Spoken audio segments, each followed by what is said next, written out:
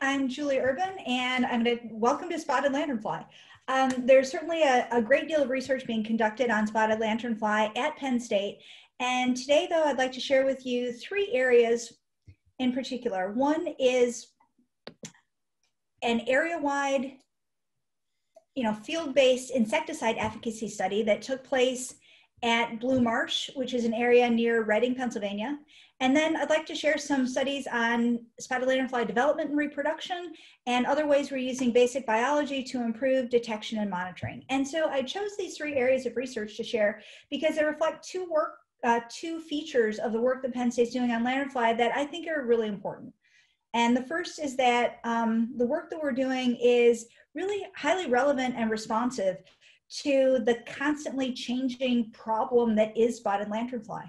Um, as member, you know, members of the scientific working group, we meet every other week, but um, Dean Roush, Dennis Calvin, and I meet weekly with USDA and PDA folks, Pennsylvania Department of Agriculture folks, who are working to control lanternfly. And so we're trying to um, help do research to respond to that, the changing needs. And I think certainly that's what the Blue Marsh study demonstrates.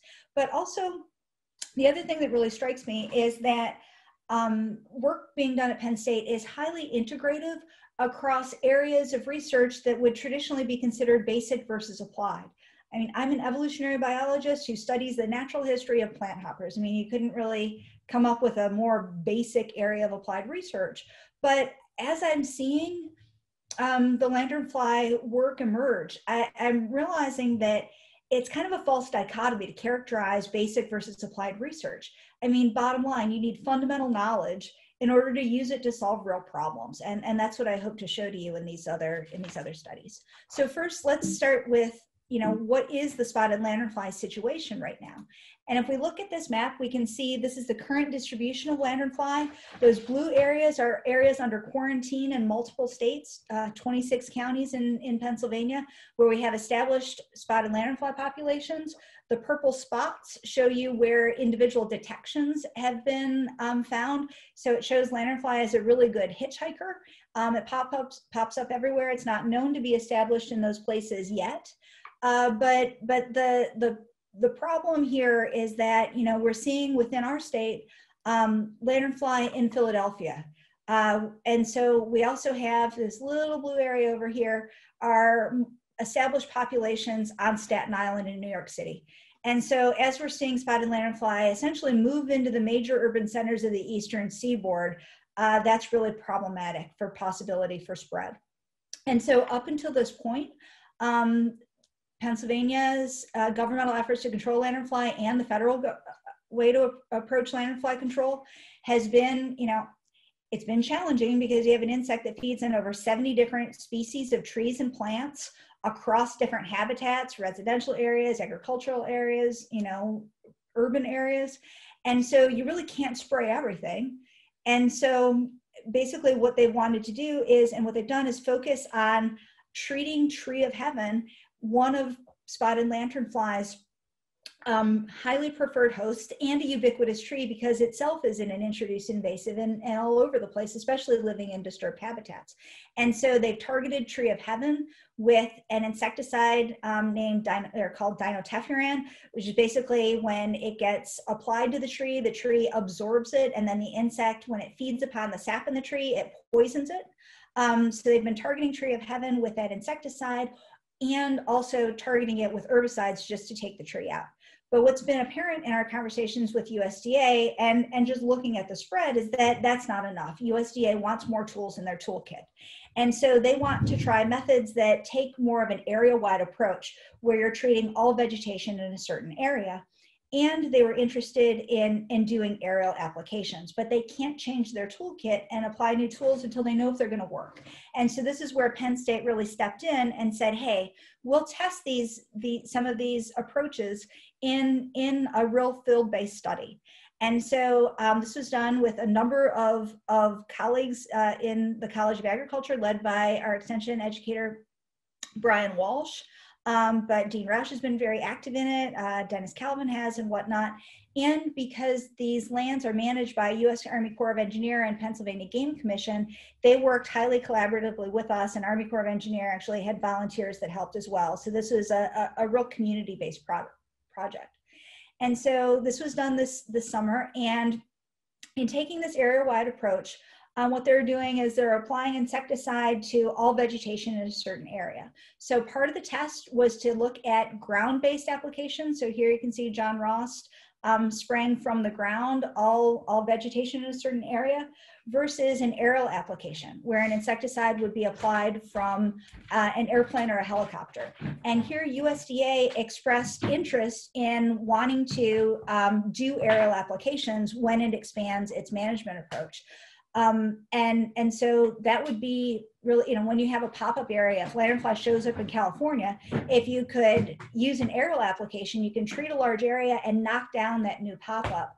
Or you know you might be able to treat a wood lot adjacent to some vineyards or other high risk properties but we weren't necessarily convinced. It's, it's, not clear that an aerial application will necessarily be effective.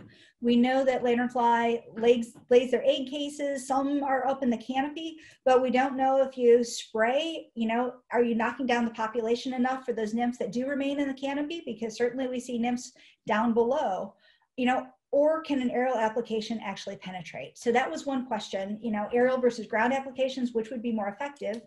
And then there, we're also interested in testing two EPA registered um, products that use a fungal pathogen, Beauveria bassiana, that essentially sprays spores on the insects. And this is thought to be a little bit safer for, for native insects in terms of non-target impacts. And so the spores hit lanternfly and then the pathogen grows and sporulates and you see your fuzzy little dead lanternfly from Bavaria growth here.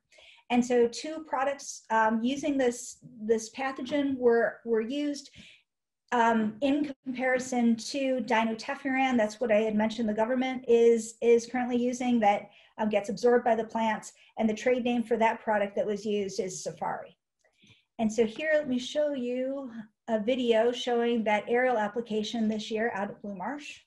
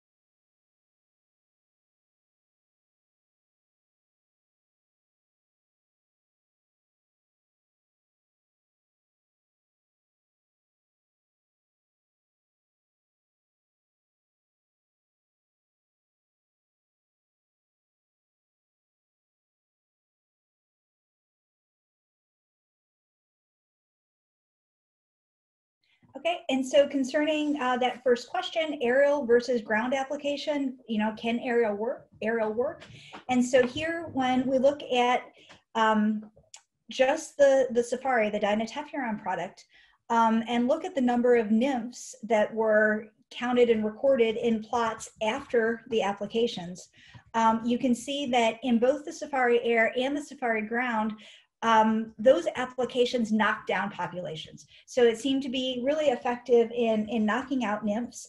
And um, interestingly, the Safari Air was even more effective than Safari Ground. So that shows that, you know, aerial applications could be really effective against spotted lanternfly. So that's great.